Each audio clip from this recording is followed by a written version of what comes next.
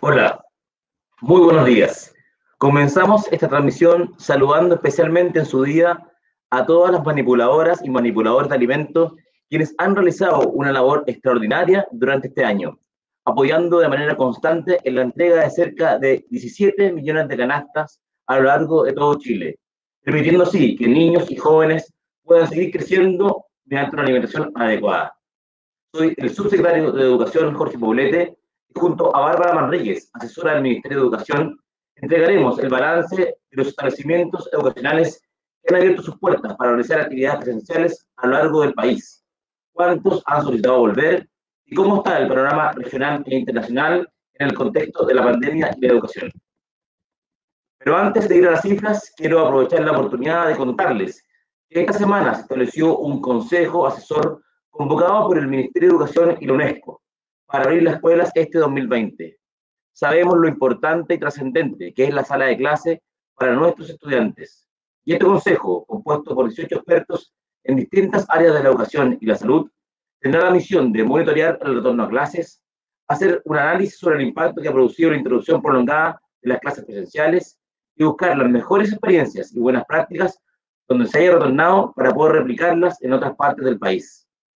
Esta instancia se suma a las que permanentemente realiza el Ministerio de Educación directamente con las comunidades educativas. Es importante que donde las condiciones sanitarias lo permitan, de manera segura, gradual y voluntaria, las escuelas estén disponibles para las familias del país. Ahora, a continuación, vamos al reporte. El reporte de cifras considera las reaperturas realizadas hasta el día jueves 29 de octubre. Así, hasta aquella fecha tenemos 935 solicitudes de aperturas a nivel nacional, de las cuales 261 establecimientos educacionales ya han abierto sus puertas a lo largo del país y 674 se encuentran en proceso de poder abrir. En la región metropolitana particularmente hay 514 solicitudes de apertura, de las cuales 133 establecimientos ya, han retornado a clases presenciales. Además, hay que destacar tenemos 240 comunas que están en fase 3 y 4. Esto quiere decir que 8.657 establecimientos educacionales, a los cuales asisten más de 2 millones de estudiantes, podrían tener la posibilidad de hacer este retorno gradual y seguro de ser solicitados por sus respectivas comunidades. En este proceso, quienes más nos han solicitado volver a clases son los alumnos de cuarto medio. En Chile tenemos más de 200.000 estudiantes que están cursando su último año. Sabemos lo importante para ellos y lo que significa ver a sus compañeros de clase y despedirse de ellos. Para muchos, esta será la última oportunidad que estarán junto a sus amigos y profesores que lo han acompañado durante toda la trayectoria escolar. Hoy tenemos 115.937 alumnos de cuarto medio que están en comunas de fase 3 y 4. Con las solicitudes de reapertura que tenemos a la fecha, estimamos que durante las próximas semanas el 17% de aquellos estudiantes habrán retornado a clases presenciales. En el caso de la, región metropolitana, aquel porcentaje alcanzará al menos un 22%. Dejo ahora la palabra a Bárbara Manríquez, asesora del Ministerio de Educación, que nos entregará un detalle por región y el impacto a nivel internacional que ha tenido el coronavirus en la educación. Muchas gracias, subsecretario, y muy buenos días.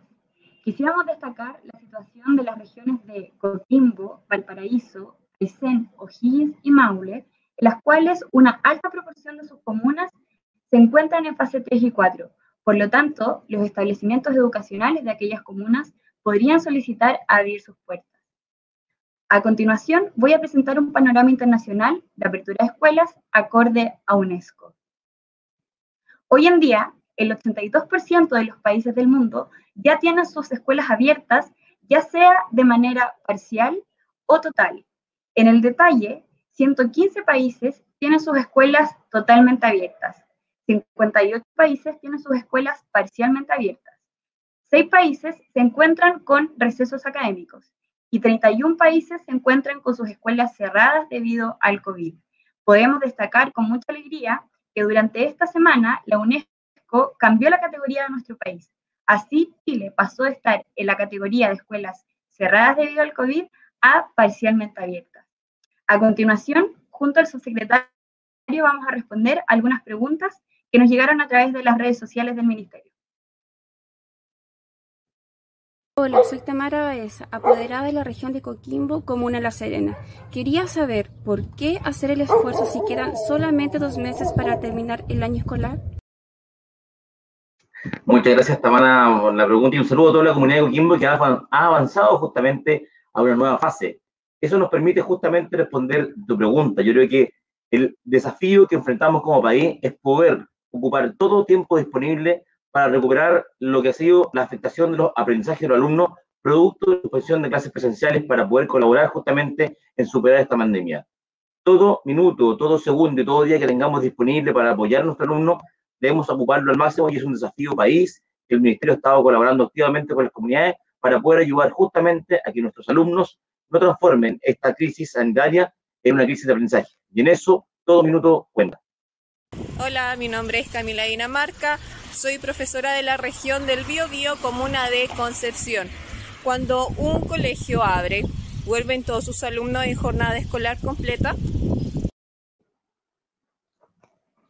Muchas gracias Camila por tu pregunta. Los pilares del plan de apertura de escuelas son la gradualidad, la seguridad y la voluntariedad. La gradualidad implica que el retorno a clases se debe hacer de manera paulatina, y así es como lo están haciendo la mayoría de las escuelas que han retornado a clases al hacerlo a través de los cuartos medios. Por otro lado, el Ministerio ha entregado la flexibilidad para que los establecimientos puedan modificar jornadas, ajustar horarios, definir qué días se asiste a clases presenciales, para que así cada establecimiento pueda dar cumplimiento a las normas sanitarias y a los protocolos acorde a su realidad y a sus propias necesidades. Hola, soy Cristina, apoderada de la región de Ñuble de la comuna de San Ignacio, y mi consulta es la siguiente. ¿Por qué se le ha dado tanta prioridad a que los estudiantes de cuarto año medio regresen a clases presenciales? Gracias. Muchas gracias, Cristina, y un saludo a toda la comunidad de Ñuble. Eh, para el Ministerio de Educación, todos los niveles son importantes y hemos estado apoyando con fuerza a todas las comunidades educativas en todos los niveles. Pero efectivamente existen algunos de ellos que tienen una especial atención Dentro de ellos, cuarto medio nos parece un mundo totalmente necesario de abordarlo con especial énfasis, porque es el término de un proceso y una trayectoria educativa que ha durado 12 años, en donde los alumnos tienen la última posibilidad de poder reencontrarse con sus compañeros, conectarse nuevamente con sus profesores y dar término a un proceso escolar. Creemos fundamental que la experiencia escolar se recupere y en aquellos alumnos, particularmente de cuarto medio, que será su último año en el colegio, es fundamental poder abrir las puertas para acogerlo y poder brindarle un término de este periodo adecuadamente. Hola, mi nombre es Milena Valenzuela Ramos. Soy profesora de educación básica del Colegio Artístico Costamauco de la comuna de Quintero. Hoy me gustaría hacerles una pregunta. ¿Se han rechazado solicitudes de establecimientos educacionales que han solicitado regresar a clases presenciales? Si la respuesta es sí, me gustaría conocer el porqué de ese rechazo. Adiós, que estén bien. Muchas gracias, Milena, por la pregunta. Como mencionaba anteriormente, uno de los pilares del plan es la seguridad. Por eso, cuando un establecimiento que está en una comuna en fase 3 solicita abrir sus puertas, el Ministerio de Salud realiza un análisis para determinar si están o no las condiciones para aquello. Por eso, sí, hemos rechazado algunas solicitudes, pero esto es para poner por delante, por delante siempre la seguridad de la comunidad educativa. Para terminar, quiero agradecer todo el esfuerzo y compromiso que están realizando las familias, los profesores, directores, sostenedores, asistentes de la educación y principalmente también nuestros alumnos y alumnas durante este año que ha sido tremendamente complejo. Como Ministerio de Educación, creemos que es fundamental el diálogo y la transparencia con las comunidades educativas del país, por lo que nos parece de suma relevancia dar a conocer el avance de las aperturas de los establecimientos educacionales y la buena experiencia que ha significado esto. Además, en nuestro sitio web sigamosaprendiendo.mineduc.cl encontrarán el detalle de cómo funcionan los protocolos respecto a las aperturas de los establecimientos educacionales y junto con esto poder solicitar asesorías personalizadas por parte de cada comunidad educativa sobre el proceso de apertura y sus etapas directamente al Ministerio. Junto con Bárbara nos despedimos, que tengan un excelente viernes y muchas gracias.